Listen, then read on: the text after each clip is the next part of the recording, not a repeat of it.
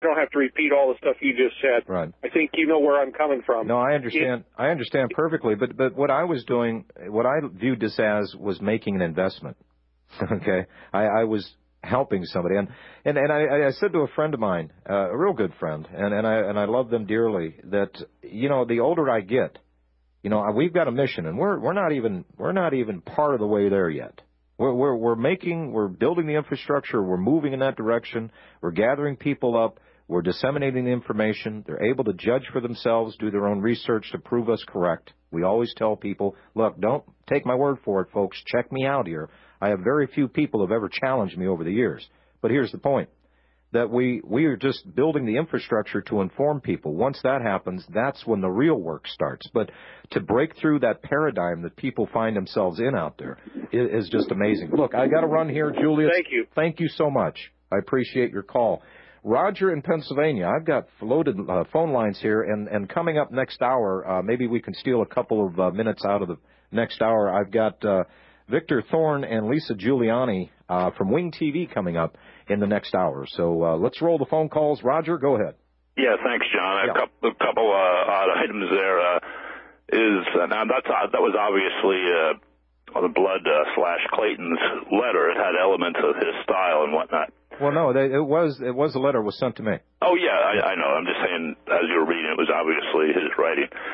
But uh, I've yet to hear anyone uh, simultaneously in the same document complain that, or not complain, but state that they were both fired and that it was a letter of resignation.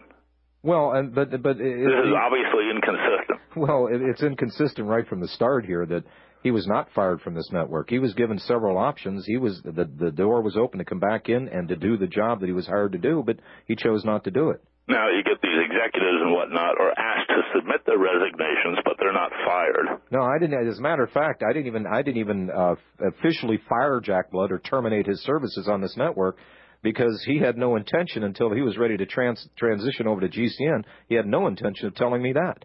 So that was interesting. Roger, thanks for your call. I appreciate it. Jim in Kansas. Hello, Jimmy. It's Tim in Kansas City, but Oh, sorry. um, yeah, uh, just to let you know, one of the whole reasons that I found RBN was because of uh, uh, following uh, Alex Jones after uh, you know after his show ended and Jack Blood came on. That there's how I ran into you, and I've seen how you, uh, you used to work for GCN, GCN, right? Yeah, I, I you know I was never paid by them. I was just an independent guy that uh, I just had. I was grandfathered in and granted two hours on that network. I, I guess out of either respect or sympathy because I was the one that founded their network. Well, I'm still not understanding the issues. I mean, we're all fighting the same battle here. you know? Ah, but here's the thing. Here's my point here, though. Mhm. Uh, my my point is that we've got to do this, and we've got to do this with more honesty and integrity. Other otherwise, why go through all the gyrations and all the strenuous stuff when you can join the other side and they'll they pay better? Well, We- we- the we've got- isn't we- what's up with me. I mean, I'm I'm in these chat rooms in American Sovereign Patriots, Mhm. listening to you guys, uh, doing all kinds of research on my own, and I run into a lot of people who want to argue over little bitty details and slight opinion differences whenever Yeah. We're looking at the source material. I mean, heck, we got this administration wanting to put up everybody had everything to do with Iran Contra and opium. You know, Right. we got some issues here.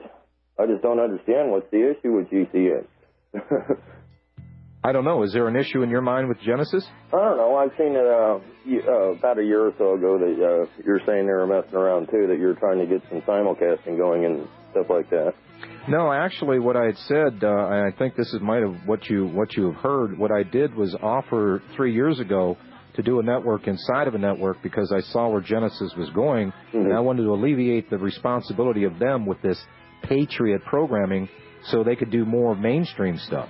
Yeah, and they're also pushing all the airballs and all that stuff too. there you go. Jesse Power doing it. Hey, but, Tim. uh, like I said, Yeah. uh, I the whole reason I found you is uh, because of Alex and Jack, and I'm going to continue listening to you. I just hope uh, you guys can work it out and work together. You know? Well, and and you know what? But I can't lay down with dogs because I get fleas. Either we got to be better in what we do, or we just join the other side. What's the point? Thanks for your call.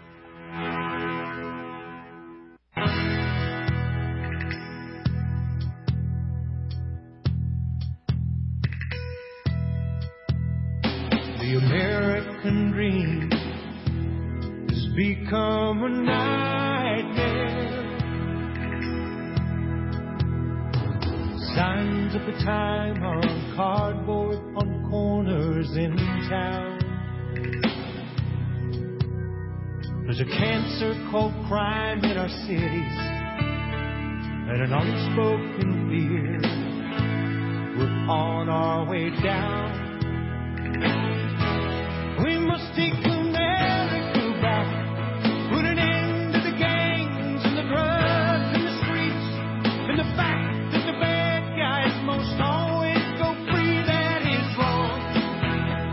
folks. We're back, and I'll tell you what, uh, we've got waiting in the wings uh, Victor Thorn and Lisa Guliani from Wing TV. And if we'll just hold on one second, I want to clear these phone calls out so we can just get in, end that segment, and get into uh, 9/11 on trial, the World Trade Center collapse. Uh, outstanding book, and and we'll talk to these fine folks in just a few minutes. Uh, Hank in Texas, thanks for holding, Hank. Yeah, hello, John. Uh, listen, I want to tell you, uh, you you've done a great thing there, and uh, I, I wish you the best. I wish Jack the best. We've got a, a big thing to do uh, to educate folks, and um, uh, and you know, people do things. Sometimes they make mistakes, and I, I just say, uh, forget it and move on with your mission. Well, we, we, uh, we have we have no choice, but you, uh, you got to understand something, and and and this is the honest God's truth. I, I'm not I'm not embellishing, I'm not lying. Jack actually said to my wife, "I would sell out if the price was right," and she was astonished by that statement. She looked at him and said, "My husband never would." Here's my point. We how can here's what happens to people when they have their mettle tested. When things are the darkest or things are the worst, that's when you start to see people's true character. And the point of it is that uh, why be like mainstream? Get up and you got the gift of gab and you got the glitz and the glamour and the blah blah blah and da da da, but there's nothing behind it. We have got the field better people out there. We are trying to, Hank, trying to demonstrate a better way of doing things. Like remember, like we used to do. We used to deal with people honestly and forthright. You know, there weren't contracts. It was a meeting of the eyes and a shaking of the hand. Either we do this and demand that of ourselves, or as I said earlier, just sell out and take the paycheck because they pay better. Well, uh, you're right, uh, and uh, but we can't we can't control other people's No. behavior, No, and no, so the best thing not. to do is all right. That that's an event that occurred, and now let's move on. And um, you know, I I, I I get very concerned if uh, if people in the patriot movement are arguing with each other over what is right, and uh, and so I I'd say No, generally, Hank, it's tactics. It, it, generally, the argument is over tactics, not to what's right or wrong. We can all agree probably 95 to 98 percent of what's right and what's wrong. It's the, the the problem comes in is when the the tactics they don't agree with a person's tactic, and they'll and they'll butcher each other and scratch each other's eyes out over it. That's what I find. Uh, and I'll give you an example. Uh, Republic of Texas down here. You guys had a fine organization down here. Where's it at now? People got in there and literally destroyed it. Thanks for your call, Hank. I appreciate it very much. Katie in Texas. Hello, Katie. Hi. Hi. Um, today Jack did not slander your show or your network. No, he didn't tell the truth either. and I listened. I started listening to him back when he was in Providence, and Jack was already an established radio host and very popular. At, and at, w, at WARL.